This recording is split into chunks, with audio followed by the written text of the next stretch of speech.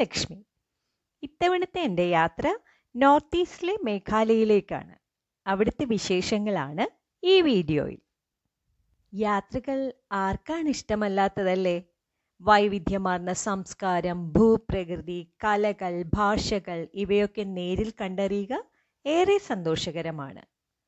North ഈസ്റ്റിലേക്ക് ഞാൻ ആദ്യമായാണ് ബാംഗ്ലൂരിൽ നിന്ന് ഗൗഹാട്ടിയിലെത്തി അവിടുന്ന് ഷില്ലോങ്ങിലേക്ക്. ഗൗഹാത്തിയിലെ മലയാളി അസോസിയേഷനിലുള്ള ഹരികുമാറും കുടുംബവും കൂടെ ഉണ്ടായത് കൂട്ടായി.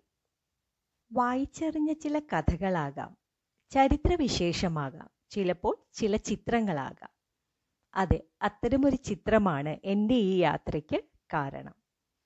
മനോഹരമായ മരതക പച്ച നിറത്തിലുള്ള കണ്ണാടി പോലെ തെളിഞ്ഞ വെള്ളത്തിന് മുകളിൽ അന്തരീക്ഷത്തിൽ ത്രിമാന ചിത്ര പോലെ പൊങ്ങി നിൽക്കുന്ന ഒരു തോണിയും അതിലൊരു തോണിക്കാരനും മനോഹരമായ ഈ ചിത്രമാണ് മേഘാലയയിലെ ദൗക്കിയിലേക്ക് പോകാനായി എന്നെ പ്രേരിപ്പിച്ചത്.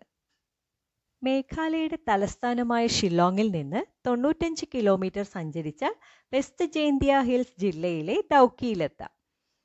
ഇൻഡോ ബംഗ്ലാദേശ് അതിർത്തിയിലെ അവസാനത്തെ ഗ്രാമമാണ് ദൗക്കി. പ്രകൃതി രമണീയമായ ഒരു ചെറുഗ്രാമം. ഏറ്റവും വൃത്തിയുള്ള നദി എന്ന് പേരുകേട്ട ഉംഗോട്ട് നദി ഒഴുകുന്നത് ഈ ഗ്രാമത്തിലൂടെയാണ്. ഇത് ദൗക്കിയിലെത്തുമ്പോൾ ദൗക്കി നദിയാകുന്നു. കണ്ണാടി പോലെ തെളിഞ്ഞ വെള്ളമുള്ള നിറയെ വെള്ളാരം കല്ലുള്ള ദൗക്കി.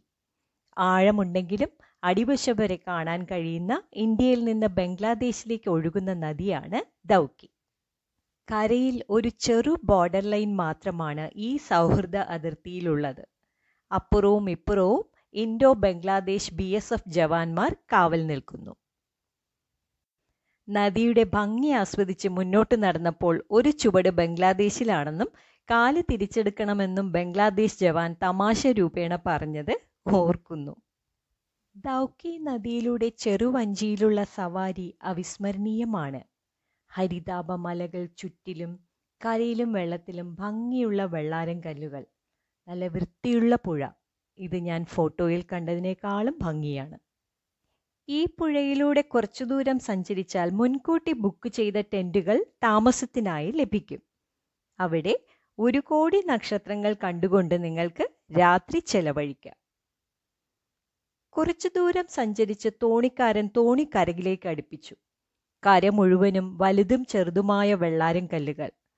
ഒന്നിനു മുകളിൽ ഒന്നായി കല്ലുകൾ വീഴാതെ പൊക്കത്തിൽ അടുക്കി വയ്ക്കാൻ എന്ത് രസം?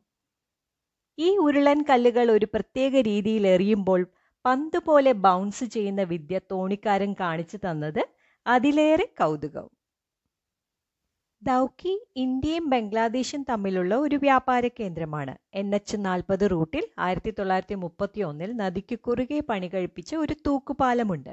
ഈ പാലത്തിന് മുകളിൽ നിന്ന് താഴേക്ക് നോക്കിയാൽ മരതക പച്ച നിറത്തിലുള്ള ദൗക്കിയുടെ അടിത്തട്ടിലുള്ള വെള്ളാരം കല്ലുകൾ വരെ കാണാം. ഈ പുഴയിൽ ബോട്ട് റേസ് നടക്കാറുണ്ട്. ടൂറിസവും ട്രേഡിങ്ങും മത്സ്യബന്ധനവുമാണ് ഇവരുടെ മുഖ്യ വരുമാന മാർഗം. ഇവിടെ അടുത്താണ് ഇൻഡോ ബംഗ്ലാദേശ് അതിർത്തി പോസ്റ്റായ തമാമ്പിൽ. ഒരു ഗേറ്റിനപ്പുറം ബംഗ്ലാദേശ്. ഈ മനോഹാരിത ആസ്വദിക്കാൻ ധാരാളം വിനോദസഞ്ചാരികൾ എത്താറുണ്ട്. അതിലൊരാളായി ഞാനും.